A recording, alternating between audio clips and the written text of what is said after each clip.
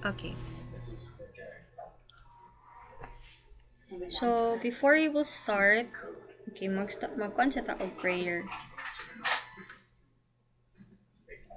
Okay, syempre, wait lang for a while ha. Okay, nara ko i-open nga document. He's going for the bank. Don't walk into that bank door.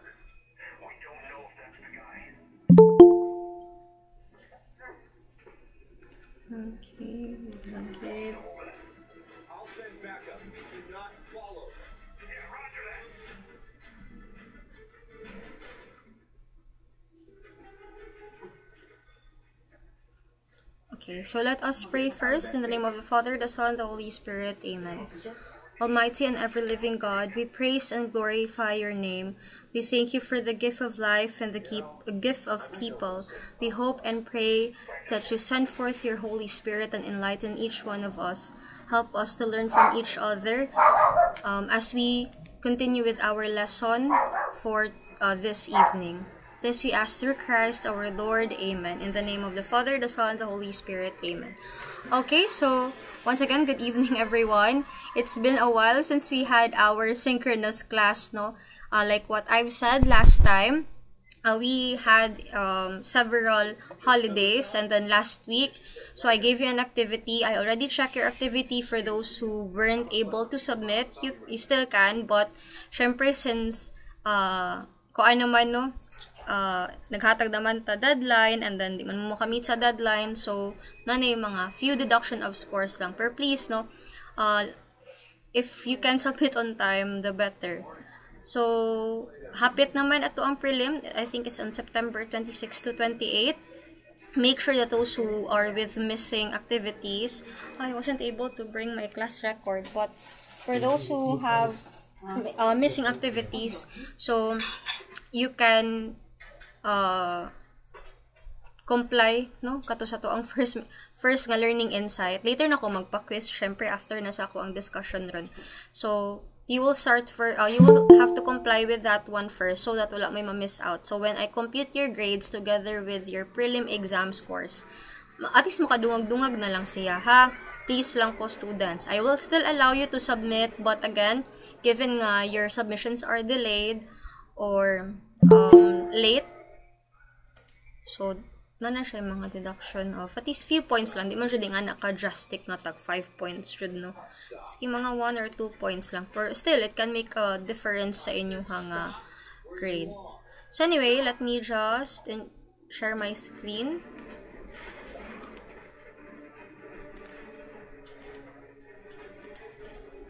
So I know we weren't able to have a synchronous discussion on our lesson 1.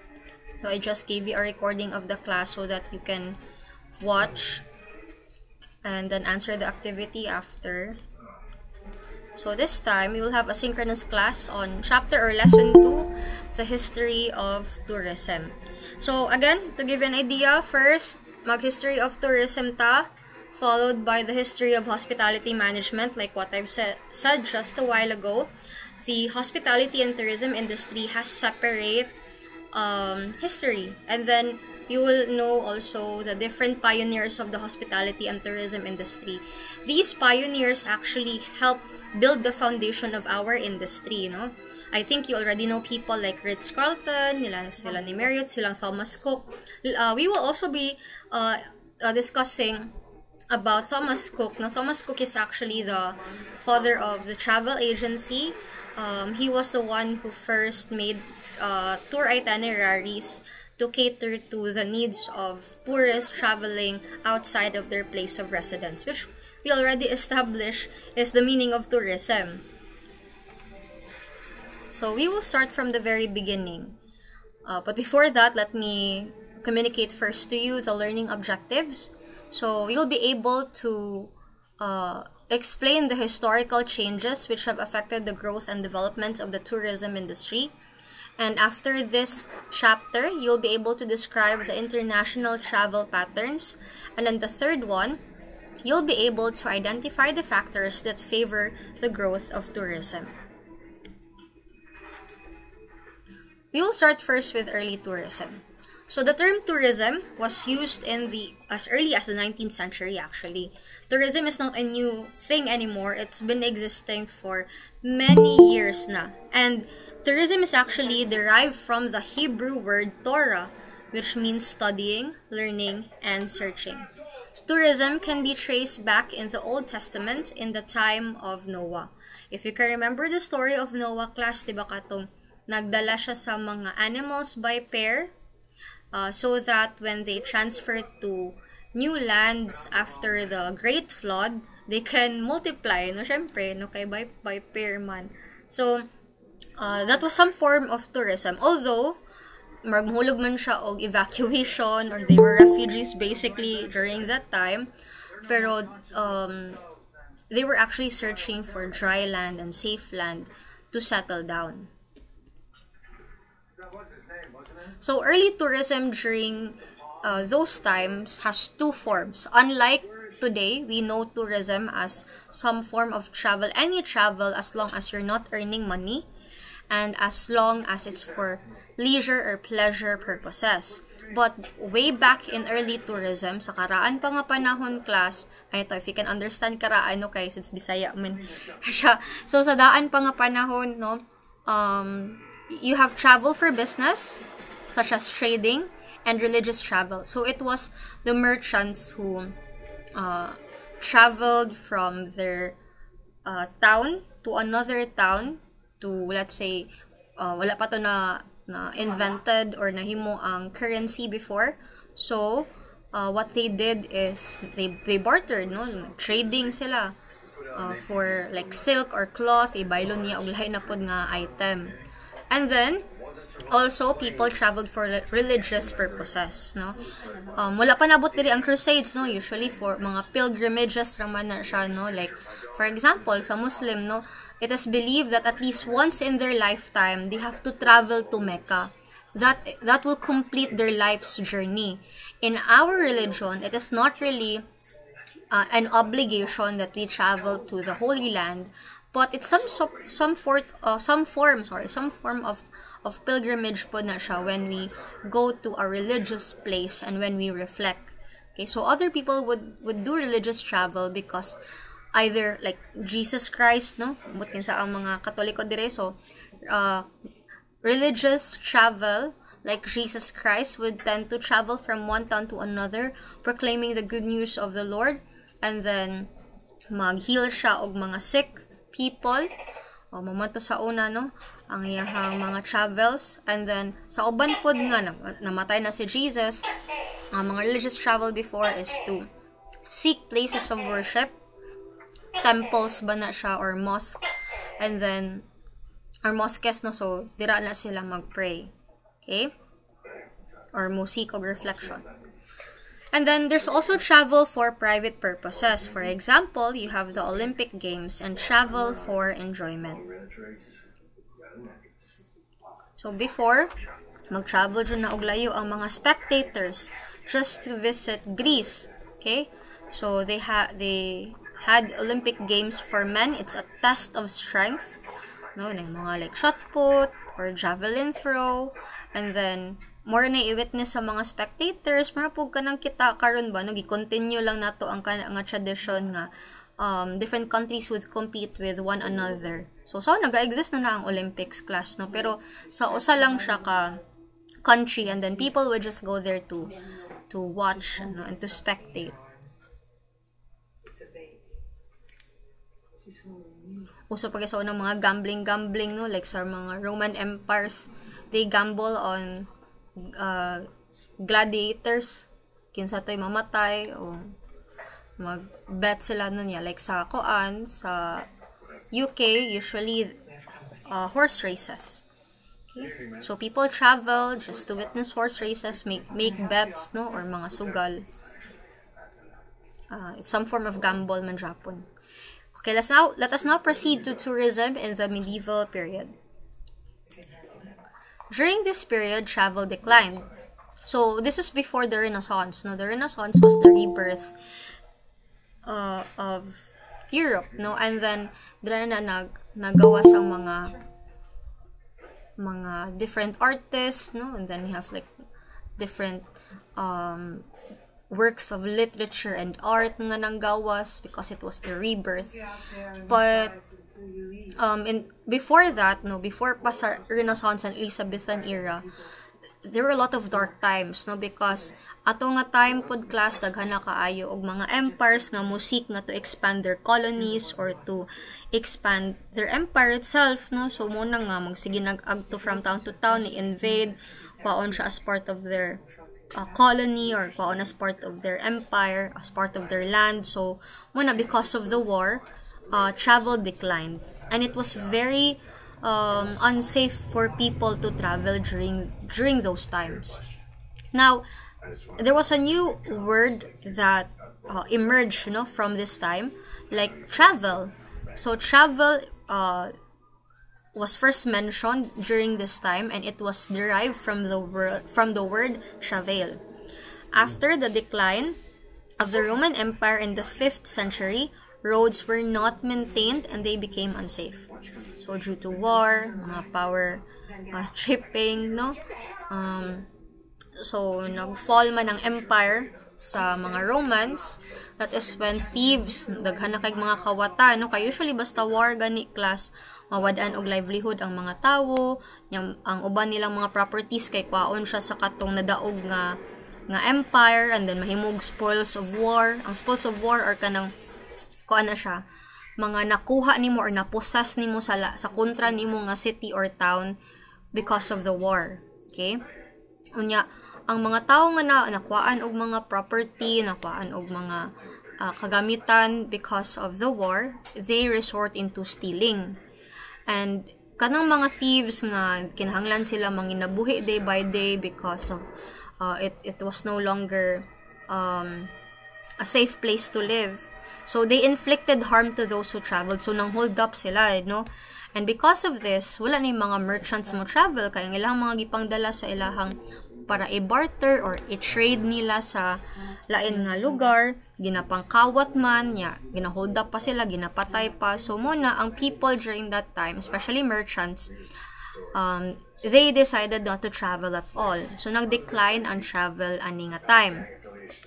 So, no one during this time traveled for pleasure. Walay ning laag, walay ning uh, travel for barter or for trade. Ang katurang nag-travel are crusaders and pilgrims, those who travel for the sake of religion. Now, pilgrims were different than crusaders klasa. Pilgrims are basically people who seek um, places of worship to reflect. They're basically harmless.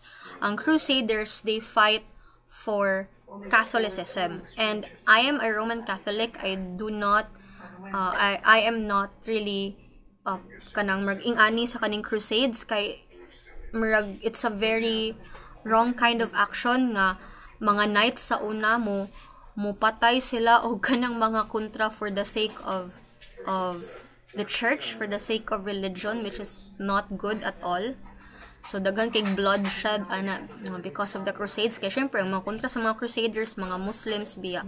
Syempre lain biya tag mga beliefs. So ato nga time no gailuganay sila og city og towns nga. Kay kung man no ang for example this is a Muslim town used to be full of Christians. Niya ila na po nang awayon kay para mabawi nila ang kana nga town balik no. So it was during those times.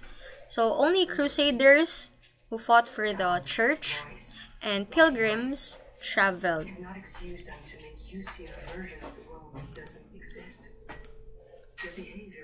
Okay, so right after the dark times, right after tourism in the medieval period nga dili na siya safe, ning decline na ang travel, we now have the tourism during the Renaissance and Elizabethan eras.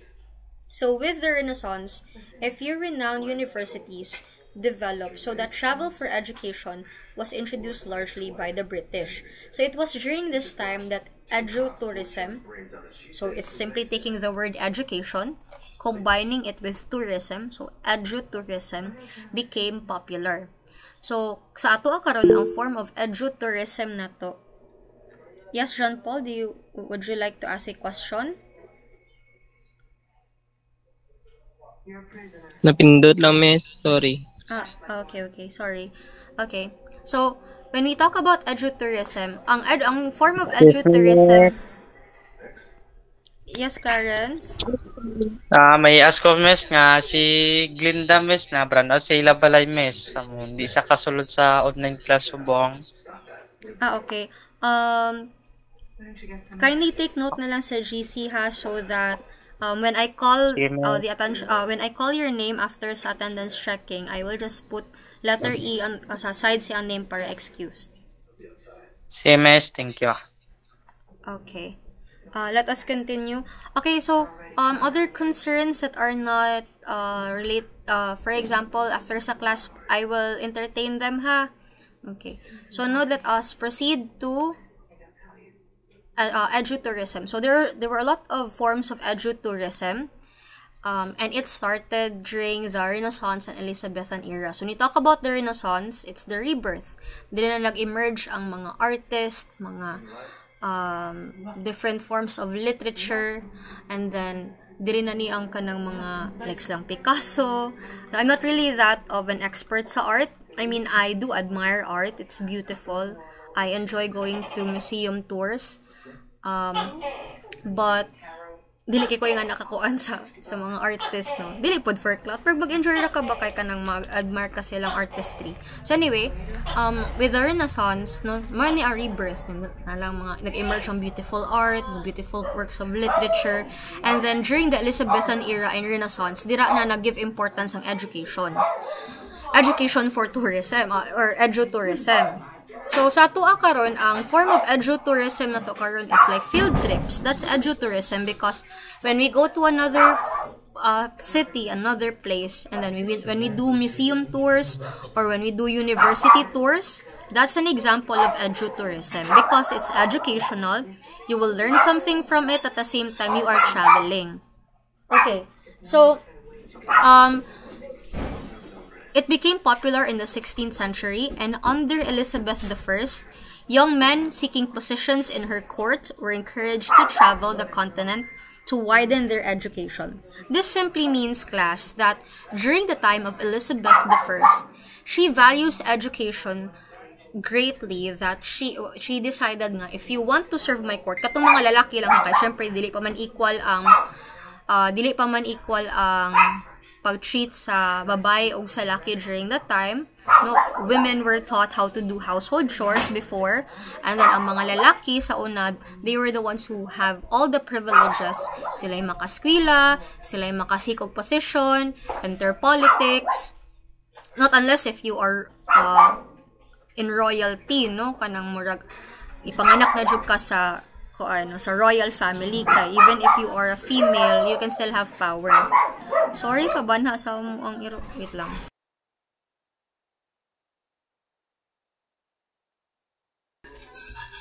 Okay, sorry. Um, di should malikayan, no? Basta naa sa balay. Anyway, um, so, para kay Queen Elizabeth, no?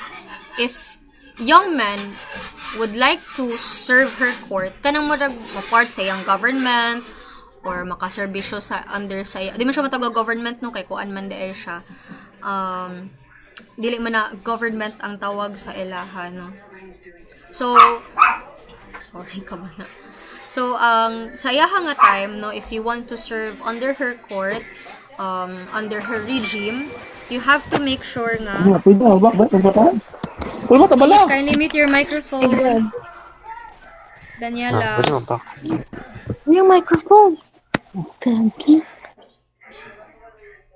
Okay. Thank you. Okay, so let us continue. So, for Queen Elizabeth, no, kung ginahan ka nga naakay position sa iyaha nga uh, kingdom or kung ginahan ka makaserve under sa queen, you have to travel all around the continent of Europe. So, it's not just one country, ha. When we talk about the continent of Europe, tibuok jud siya nga Europe containing all of their countries. And then, uh, once after that you have traveled, um, or after that you have your formal education, so you will complete a grand tour of all the cultural centers of the continent, which will last for three years. So, ma-travel ka sa tibuok continent, no? To widen your education. And then magpili ra na no? Si Queen Elizabeth og i-suggest nga mga cultural centers located all throughout Europe nga dira ka mag-travel and that will last up to 3 years. So that once you come back mahumana ka sa imong education you will be educated well refined knowledgeable sa lain-lain nga mga practices ang mga um, mga different na cultures and lain nga country and you can apply that one once you serve the queen. Murago nag sa tuwa po di ba klase ba ngano mag OJT man ta para naatay idea what it's like in the real world before we graduate. And when we graduate, we are ready already to face the real world. So, sa iyaha, mura po na siya ging ana, but it's far more broad, no? Kaya syempre mo, mo abroad ko ka for 3 years. It's not like 600 hours lang nga. Makaya ni mong 2 months. Pero sa iyaha is grand tour jud siya. Tuyo ko ni mo tibok Europe, know the people, their culture, be part of their politics, and then you come back to Great Britain, and then when you serve the Queen's Court, you are knowledgeable, refined, no? Um, noble man jud ka worthy nga kabalo katanan nga unsay naa sa uban nga countries like in France or for example in Belgium, in Switzerland, no katumoy ana nga countries around Europe. So, meron po siyang educational tour, no, if it were to happen in our time. So, while apparently in the 16th century, educational tourism was popular, somehow the appeal became social. So, when edutourism became so popular, dili na siya lang limited for um, for seeking positions or as a requirement for you to serve the queen, nahimo na siya pod og for leisure purposes. So, kamadugayan, napoy uban nga mga young men and katong privileged women nga kita nga, ay, it's also enjoyable to travel all around Europe. Kay dili lang siya for educational purposes, malingaw pod ka, no? Um, you will also enjoy the travel. So that's why pleasure-seeking young men of leisure um, traveled all around through France and Italy to enjoy the cultures and social life of Europe. And they are not doing this to earn a position in the Queen's court. They are just merely doing this to enjoy. Okay? And then by the end of the 18th century, the practice has become institutionalized for the upper class of society. What do we mean by institutionalized? This means that mura na siya nahimo siya og tradition or if you're rich, it's like a rite of passage nimo murag ka nang dili dyan na mahimo nga dili ko maka-tour sa tibuok Europe uh, given nga I'm part of the upper class. Bagi ana na ang ilang mindset na at the end of the 18th century. So it started in the Elizabethan era as a requirement for you to serve the queen if you can still remember like what I uh, just like what I've said a while ago. And eventually it became as travel for the sake of pleasure. And up until now, makita man Japan na nimo nga ga-exist. Japan siya all throughout Europe with U-Rail, di ba? Ang U-Rail is basically um, a train. Oh, syempre kay U-Rail good. It's it's a train that you get to travel all around Europe depending on your U-Rail card. So if you get to travel throughout all the continents or let's say uh, five countries lang in Europe, so you have the U-Rail card and you get to travel wherever uh, whichever nga country that you would like to choose. So, maragilan nang nadala until karon. So, as young men sought intellectual improvement in the continent, the sick sought a remedy for their illnesses in spas. So, kung ang mga dato nga privileged men nga gusto makakuhag position and serve the queen, they travel all around the continent of Europe for for intellectual improvement. Ang mga masakiton pod class no they went and sought spas no to cure their illnesses. So unsa man ni ang spa? The spa came from the Walloon word espa meaning fountain. So for them they are seeking the fountain of youth baron or fountain of health na once they take a bath in these fountains maayo ilahang sakit it was very kuan sa una no um wala pa ng mga physicians sa una. Actually, na may mga doctors pero dili ing ana kaayo kakuan ng uban no? especially katong mga less privileged they would travel instead and look for spas where they can bathe and then be healed no Then later, nakabantay man pud ang mga people around them. So, grabe no, businessman kay mindset ang mga locals those who live near spas or fountains. Dili spa nga atong nabalaan karon ha. Ang ato amanggong na familiarize nga spa karon class or nowadays or basically kana yung i-massage or kanang for example ikuha ni mohang feet or imuhang face no? Maring ano mo therapy or therapeutic kayo siya.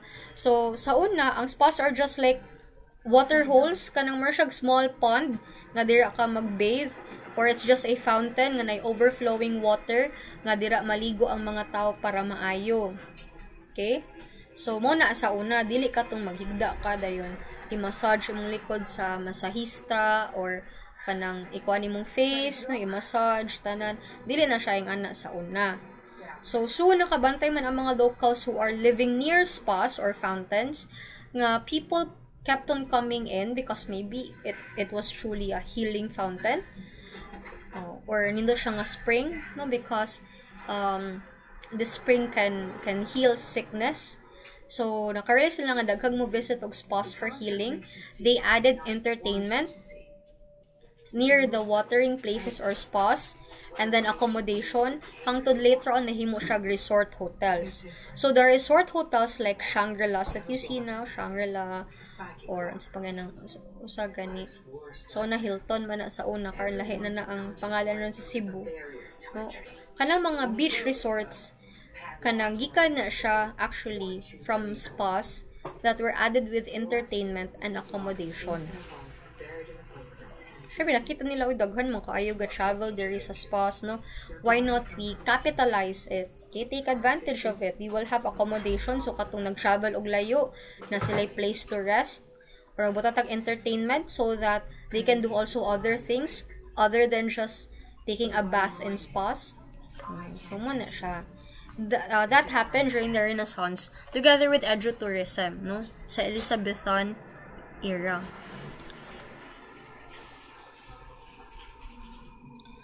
Uh, let us now proceed to tourism in the in- Industrial Revolution. So, the Industrial Revolution brought major changes in the scale and type of tourism development. The increase in productivity, regular employment, and growing urbanization gave more people motivation and opportunity to go on holiday.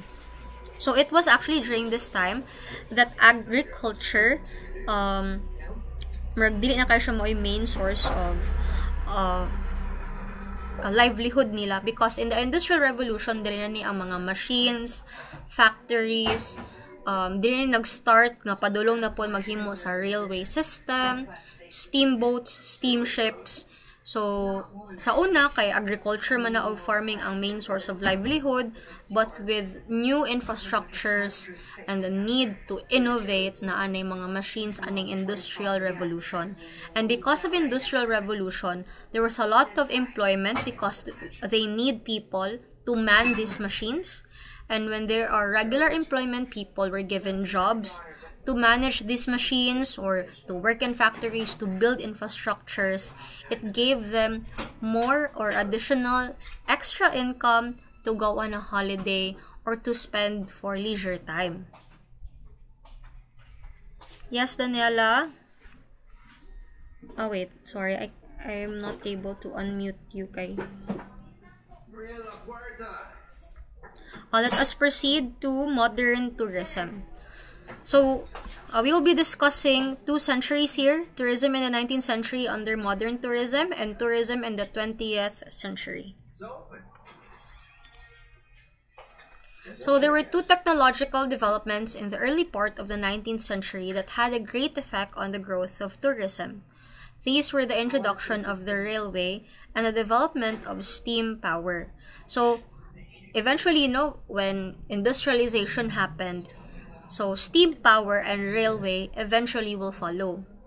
And the railways created not only more businesses by providing reliable and cheap transportation, kaya it's easy to transport people and goods instead of like mga chariots, ah, dili chariots, eh, sorry, carriages or coaches, uh, ang maoy uh, pulled by horses ang maoy gigamit as means of transportation, dugay pa maabot, kapuyon pa ang kabayo, at the same time, few lang ang makarga, but with trains and steamship, uh, sti- uh, yeah, steamship, it's easier to transport um, huge number of people and then at the same time also cargo.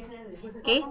So it also provide so not only no nga ang transportation or railroads provide reliable and cheap transportation it can also provide competition as various private companies invested in hotels, resorts, and entertainment facilities. So ngano, dili naman ni, ning boom ang hospitality industry. Although we are talking still talking about tourism. Since the introduction of the railway and development of steam power, it's easy to transport people. So it would give an opportunity for a lot of people, let's say 20 to 50 to 100 people to travel at the same time at um, a faster speed. Di pa kapuyon, no? Kay dili naman kabayo at the same time people nga who used to travel by foot uh, if if they can afford the the ticket no sa train makasakay sila ana di dali ra sila maabot okay it's quicker for them to reach their destination and with that no people were more encouraged to travel because it's very convenient na to travel. Dili na maglakaw di na magsakay og horse na anay railway anay train. Daghan pa jud mi makuan. So I can bring my family with me. Those places nga maagian sa train nga wala pa nako naadtuan before tungod layo. It's possible now because there are trains. And because of that when people saw that a lot of other people were also traveling to their city. Or let's say in my city mingaw pa kayo sa una mga merchants ray gaagto. But with the introduction of the railway daghan na kaayog mga uh, tourists coming from nearby towns or cities nga moagto sa ako ang lugar. Because it's easier for them na to travel. And once they go in my place maglisod na sila asa sila matulog kay malingaw na sila suroy-suroy di ba?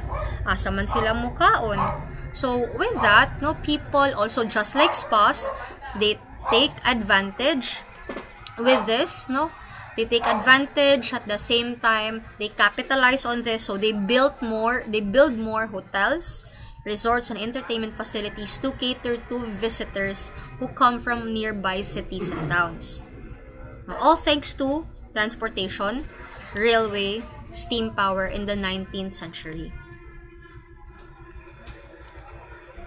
So the use of steam power provided the increased mobility needed by the tourism business. Tourism became organized in the later years of the 19th century, and the organization of travel became an established institution. And because of this, no, daghan kay mag-travel, daghan nag means of transportation, uh, a lot of travel organizers emerged. The first travel organizer was Thomas Cook. So because of Thomas Cook na natay mga tour and travel agencies karon. So unsa man ni ang travel organizer? So wala pa na mga travel agent o tour operators class. Travel organizers pa ang tawag nila. These travel organizers will prepare your itinerary. Okay, what is an itinerary? Oh, I T I N E R uh, N A R Y itinerary. Ang itinerary is a list of activities that you will do when you reach a specific city nga imuhang kadtuan. And then naay uh, naay time pila ka, minutes per destination. And sometimes my my price pa no if ever nga dili siya part of the tour package.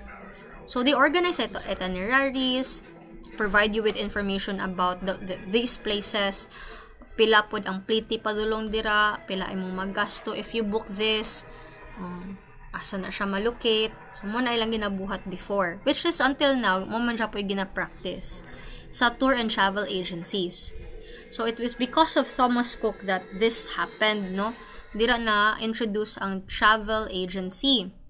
So si Thomas Cook the first travel organizer organized his first excursion train trip no, between Leicester and Loughborough in 1841, and with him are 570 passengers at a round trip fare of one shilling. So he basically took initiative and said, I will organize this tour, knowing that some tourists do not really know where to go and what to do once they go to a nearby town. So I will organize their trip, inform them of the fare or pliti sa train uh, going to Loughborough from Leicester. And imagine he has with him 570 passengers and siya lang usa. I.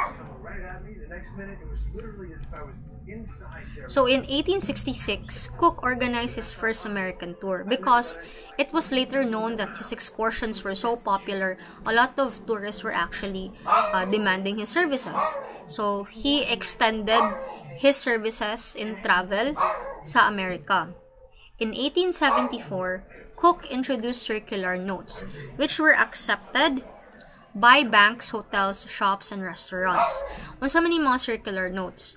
Take for example, if you are from the Philippines, syempre you have Philippine peso. Now, during those times, wala man tay um, foreign exchange, sa na, money changer, ngayon ana, no? Convert imong cash sa currency sa lugar nga imong gi- gi-. So, when you go to America and you need US dollars, you won't be able to find uh, money changers money changer because it does not exist pa ato nga time. So to solve this problem, especially for international travel, Thomas Cook, the first travel organizer, developed or introduced circular notes. Kaning circular, circular notes, mura na sila mga check class. So for example, if I'm going to the States, I do not have US dollars with me, I will just ask how much in dollars do I owe the hotel. And then I write the amount in the circular note, parang cheque, and I give it to the hotel. The hotel will, will go to an accredited bank, bank nga katong ma- makabaylo ka no, maka-exchange kasi mong circular notes, and they will exchange the circular note with money. Okay? Syempre, money nga ah, katong US dollars. So, muna siya ang arrangement before because money changers did not exist yet. And karon gani class no? Uso na gani karon ang uh, paying online. No? Either through your GCash, Paymaya, unsa pa man yung mga lain yung mga uh, means of paying that you can also do internationally.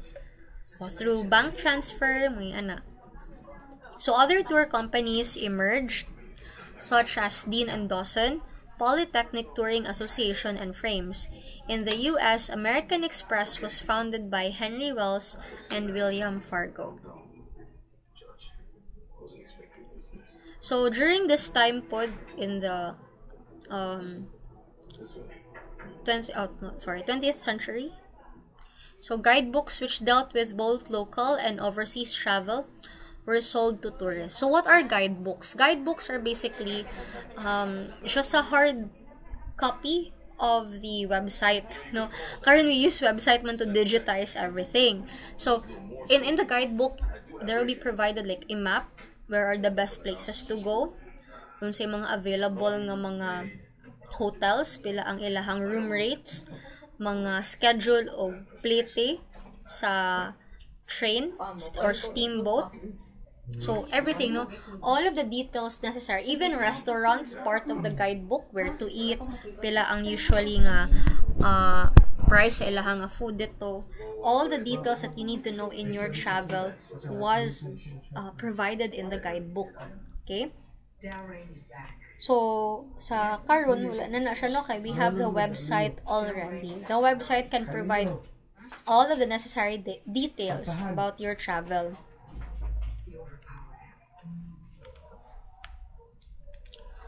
Ay, sorry, 19th century dito.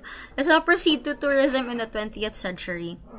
So, in the 20th century, during the sa World War and after, so pleasure travel began to expand, encouraged by the increasing wealth, curiosity, and outgoing attitudes of the people. World War I boosted the demand for international travel due to the influence of posters, the press, the cinema, radio, and television, widen the knowledge and interest in travel. Diba supposedly when we talk about war, it's supposed to be like dangerous or it's not really that pleasing for you to travel although that is basically true pero with when you see uh, soldiers or troops going to another country and you see the country nga with like posters or press or in the cinema because like they made war films probably or videos or, or footage of like going to another country to fight for the war it actually encourage or like murag ning poke sa sa curiosity sa mga uh, people nga ah okay so that's what Hungary looks like or this is what France looks like o mga yung ano no? Kay makita man nimo sa mga posters sa television uh, especially when they show videos of uh, soldiers no? Going to war. So dili pagkita katong mga messy parts nga katong naanay ko ano naana dre patay-patay o dili pod okay? Katurang mga kuan na kanang murag uh, for example uh, na video nga march sila dito or naabot sila ani nga lugar. Then after world war forms of travel began to change radically the railway declined as means of travel with the introduction of the motor car.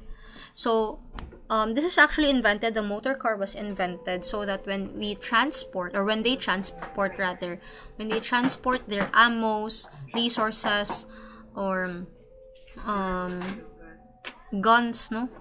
Sa mga soldiers for war dili na magkinahanglan sa train nga di man naka-access ang train og kanang mga sudlunon nga lugar di ba so they had to develop a oh, they had to develop a, a different kind of transportation that can go to different places without relying on railway no, or some mga train tracks. So, more na motor car. Sa time ganito, mabitaw na siya class nga, the jeepney is so popular here in the Philippines because it used to be a surplus. It, it used to be a surplus of the kuan uh, World War. So man surplus extra no or kanang sobra pagira. So they utilize jeepneys to transport guns, ammo, resources to soldiers, no? And then, di naman na siya nimo madala sa abroad, gibili nila. So, kita mga Pinoy, ito ang gihimo siya into public transport. Which is the or- original kuan sa jeepney is intended for war. Okay? easy uh, to easily mob- mobilize the soldiers from one place to another. Now, because of this, nakita nila nga it's convenient to travel through motor car. You don't have to re- rely on train tracks. Kay di ba kumuhunong ang train tracks, dira rapod kutob ang train. Kay mo man na ang means nga muagi siya. Di pa jud kaagto og mga sudlunon nga areas ang train. Unlike sa motor car, you can go basically anywhere. So, motorized transport improved road conditions and it led to the popularity of seaside tours. Usually, they built roads near the sea or coastal because it's easier. No? At the same time, um, dili po siya grabe pod ang travel no like for example mas dali gani magbiyahe kung magpa-coastal pa Bacolod compared to Don Salvador kay Tungason no kay mountainside man kaysa seaside nga kuan lang um, di na magsaka di na magnaog ang vehicle. And then World War II also led to an increased interest in travel. The war introduced co- uh, combatants not only to new countries but to new continents. Another outcome of the war was the progress of the aircraft technology.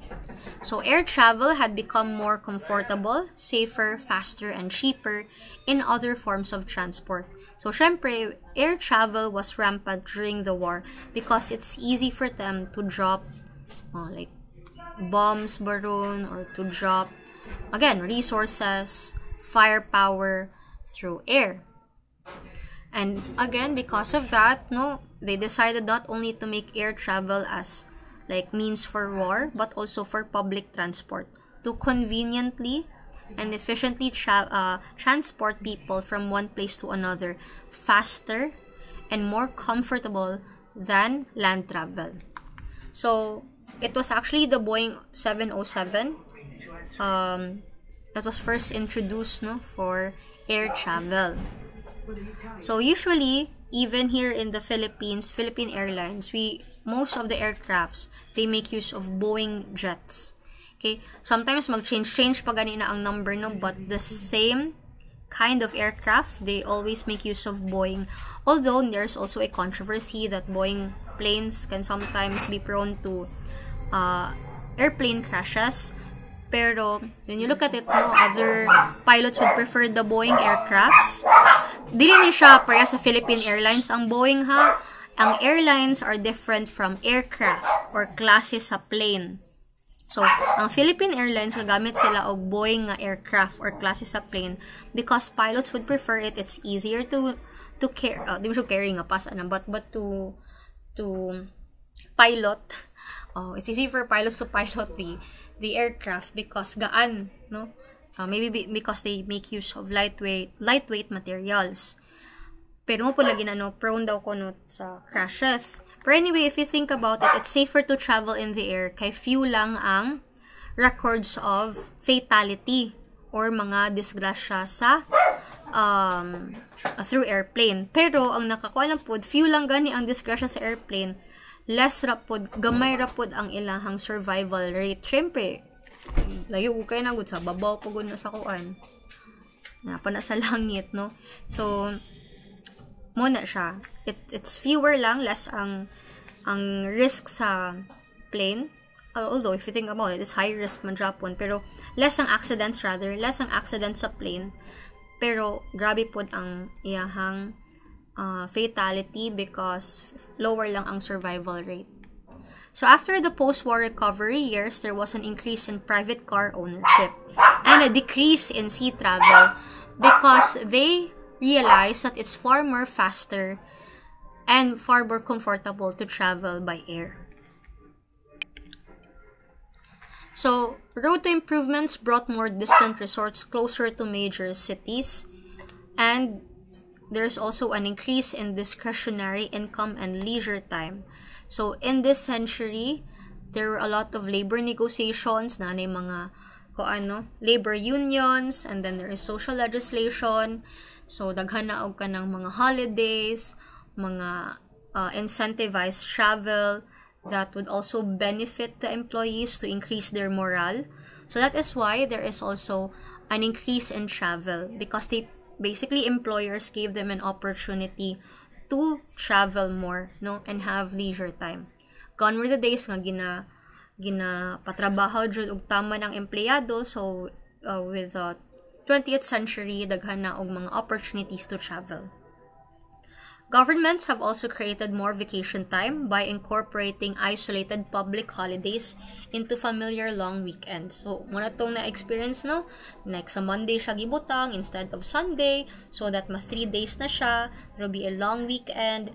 Or, for example, wala po ang Friday until Monday. So, instead nga Thursday siya ibutang, then mag-duty Friday, para mahimo siya long weekend, gibalhin siya og Friday. Okay, so no, because of the long weekend, it provides opportunity for people to be encouraged to travel. So, business travel flourished leading to conference and incentive travel.